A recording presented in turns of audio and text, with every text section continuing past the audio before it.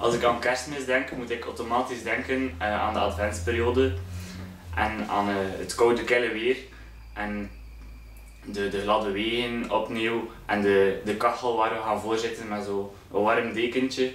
En natuurlijk ook um, aan de weg uh, naar kerstmis. Maar dat laatste, kerstmis, wat betekent dat op vandaag eigenlijk allemaal? Um, voor sommige mensen betekent dat nog heel veel, is dat echt um, iets wat verwijst naar hun geloof. En voor andere mensen is dan eerder het, eerder het gezellig samen zijn, um, uitbundig eten, uitbundig drinken. Um, en, en iedereen beleeft dat eigenlijk een beetje op een andere manier. Ook al heb je twee mensen die geloven en toch gaan die twee uh, met een verschillende kijk, met een verschillende blik naar kerstmis kijken, gaan ze dat verschillend beleven. En dus kan je misschien kerstmis een beetje zien um, als geloven. Waarom? Omdat je sowieso um, gelooft op een andere manier, je beleeft je geloof anders. Net zoals dat je kerstmis anders gaat beleven. En um, misschien kun je ook de vergelijking maken bij alle twee dat mensen een beetje twijfelen van over het hoe en het wat. Wat is kerstmis nu juist? Dus voor de hele maatschappij kan kerstmis eigenlijk op een hele andere manier beleefd worden. Voor ieder individu is dat anders. En voor mij persoonlijk uh, probeer ik in de adventsperiode en op de weg naar kerstmis en kerstmis zelf echt te zoeken naar de essentie, uh, de essentie van mijn geloofsweg die ik als geloofsanimator Heuveland tot nu toe al gemaakt heb. En dat is al een jaar of zes, zeven dat ik met dat geloof bezig ben. En eerst zeer kleinschalig en, en daarna groeit dat altijd, bouw je dat uit. En uh, als jonge gasten van vandaag is dat helemaal niet meer gemakkelijk om te geloven. Je moet echt sterk in je, schoen, je schoenen staan eigenlijk al. Dus zeggen van kijk ik geloof nog wel, laat staan dat je dan echt de, de, de, essentie van je geloof er kan uithalen. En dat kan laten zien aan andere mensen. En misschien is dat wel goed dat we zo in uh, de adventsperiode weer proberen terug te gaan naar de essentie van ons geloof. Dat we eens nadenken van wat primeert er hier nu eigenlijk, wat is er fundamenteel, waarom geloof ik? En uh, we zo al die tralala van rond kerstmis en zo er wat afproberen laten. Gezellig. Allee, kerstmis kan zeer gezellig zijn en ik hou ook wel persoonlijk van dat, dat allee, die, die stille gezellige momenten met een beetje kaarslicht en zo. En, uh, en dat warme, terwijl dat uh, donker, koud is. Terwijl dat we in die gezelligheid zitten, is toch wel belangrijk van, uh, te zoeken wat er echt belangrijk is in ons geloof.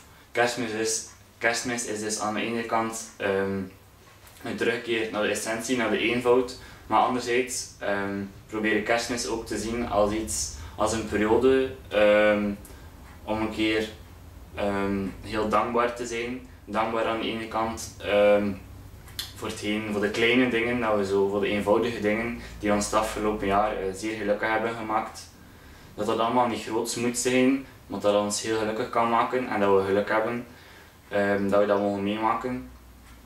Dus dat we in die periode van advent vieren en kerstmis vieren, op weg gaan met Jezus, dat we een beetje dankbaar uh, kunnen zijn voor hetgeen dat we uh, mogen ontvangen hebben eigenlijk. En aan de andere kant is kerstmis en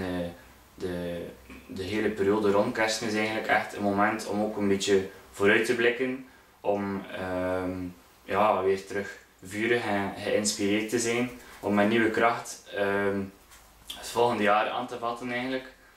En um, om, enkele, ja, om enkele doelen terug te stellen, met dat we een nieuwe boost gekregen hebben eigenlijk. Want dat, dat voel ik toch wel zo telkens met kerstmis, dat we een nieuwe boost krijgen om terug verder te gaan met hetgeen dan zijn. Maar dat dat dan zo een beetje kan opheffen en een nieuwe inspiratie kan geven doordat we samen vieren en doordat dat altijd zo'n hele, hele gezellige bedoeling is toch wel. En um, dan niet zo heel veel doelen stellen en, en onrealistische doelen stellen, maar wel zo um, een, paar, een paar goede doelen waar dat we ons hart uh, kunnen inleggen.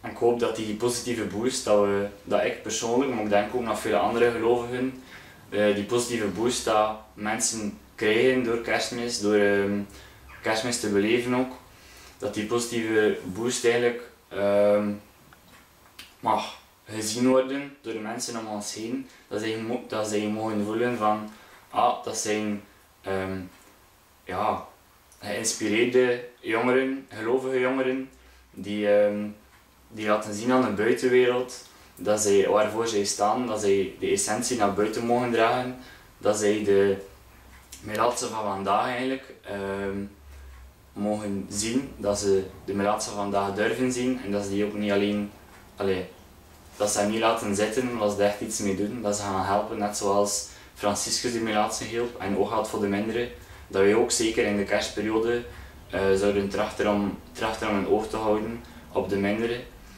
En uh, dat kunnen verschillende mensen, verschillende mensen zijn, mensen met, kleine en grote noden, maar dat ze mogen zien dat wij er staan en dat wij vanuit de essentie van ons geloof uh, en met de dankbaarheid van het voorbije jaar, van de gelukkige kleine dingen, dat we daarmee de minderen mogen helpen.